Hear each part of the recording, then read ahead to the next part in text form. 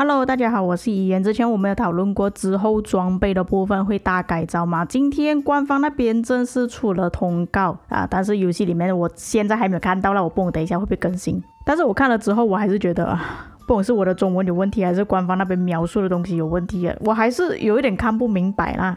前面写的第一句还是跟之前一样，就是讲我们的装备如果没有出专属的话，我们可以进行精炼。但是这个精炼系统它是有分数值的，比方说你一开始的时候是零，要到一百的时候才会获得专属天赋的效果。同时，精炼装备有概率出现暴击效果，这个暴击效果又是什么东西？以我的理解啦，我的暴击效果呢，就是我们平时玩那些节日活动的时候，我们一直连按它会有暴击嘛。但是在这边的暴击效果是怎样呢？我个人是猜测啦，因为精炼效果呢，它是有分数值的嘛，有可能。会突然跳到五十二十，这个是我猜测的，那不一定是对的。期望与优化前的装备锻造相同，又是什么意思？我我真的有点不明白呀，到底是什么意思？恐怕这个部分我要等更新之后亲自去尝试才知道是怎样的。装备锻造系统调整，简单的来说就是更新之后我们之前的概率啊会不会出专属是一样的。如果你的装备是在更新之前就已经锻造了，也可以直接拿去精炼。再来后面有一点很重要，就是如果你把那个装备拿去分解了之后，如果你再重新锻造，精炼还是会持续下去的。就可能比方说，我做一个武器吧，我做了之后，然后没有出专属，但是我的精炼可能已经跑到一半了，我拿去分解，分解了之后，我又重新做过，它的精炼效果也会从一半开始。下面那句话，我觉得是在玩文字游戏。优化后锻造系统精炼系统的总消耗与优化前锻造系统的总消耗保持一致，不会对执政官们造成负担。因为我看过官方之前发出来的通知嘛，它是讲精炼的时候所需要的材料是锻造一样的数量，所以我理解是这样子。但是他这边写出来的东西就，呃，让人有一点不是很明白啊。接下来就是装备限制。之前我理解错误，我以为前面的 KVK 都不能用装备，实际上是讲征服赛季的装备，也就是讲我们可以在征服赛季获得的图纸是不能在前面的 KVK 用了。至于有什么装备是限制了，下面已经列了一个列表出来给大家看。我觉得这样子的改版呢是好事情来的，因为有很多玩家在。征服在进拿了一大堆装备之后回去 K 二 K 三虐待那些原住民啊，所以我觉得这个对原住民来讲是好事情来的。再来第四点，水晶宝箱不会再获得图纸碎片，而是直接获得一个完整的图纸，不过也是一样是有概率性的。同时奖池中也会增加资源道具与加速道具。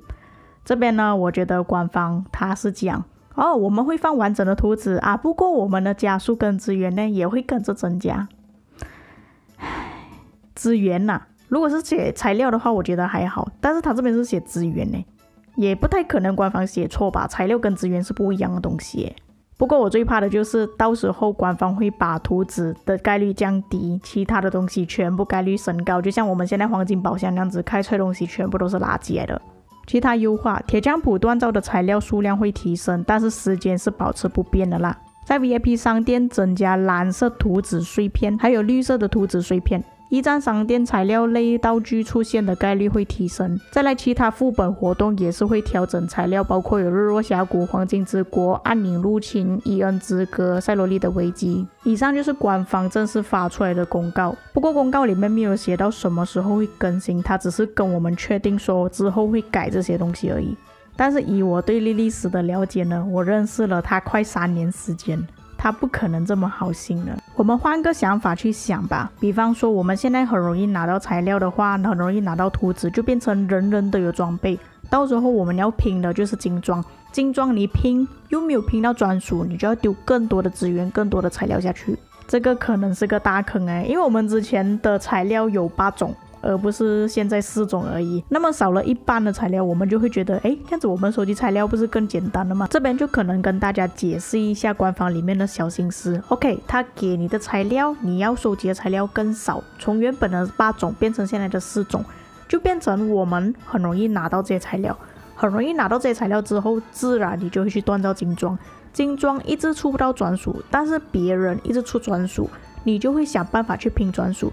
就变得你更需要更多的材料来锻造专属。这也是为什么现在官方又出炸弹活动、小锤子、水晶球活动，就是为了要给我们更多管道去拿到图纸、拿到材料。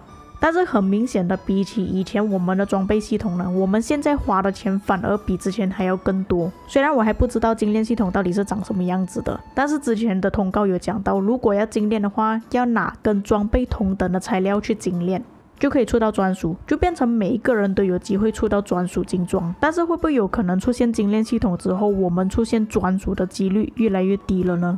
虽然官方嘴上是讲哦没有改变，跟之前一样，但是会不会有可能私底下降低了，我们也不知道呢。有了精炼系统之后，官方就更加肯定每一个玩家会专门去拼金色专属。